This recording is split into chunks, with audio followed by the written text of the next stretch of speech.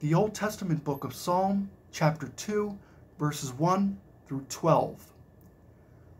Why do the nations rage, and the people plot a vain thing? The kings of the earth set themselves, and the rulers take counsel together against the Lord and against his anointed, saying, Let us break their bonds in pieces, and cast away their cords from us. He who sits in the heavens shall laugh.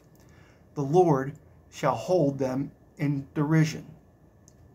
Then he shall speak to them in his wrath and distress them in his deep displeasure.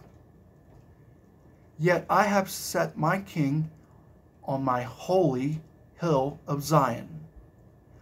I will declare the decree the Lord has said to me. You are my son. Today I have begotten you. Ask of me, and I will give you the nations for your inheritance, and the ends of the earth for your possession. You shall break them with the rod of iron. You shall dash them to pieces like a potter's vessel. Now therefore, be wise, O kings, be instructed, you judges of the earth.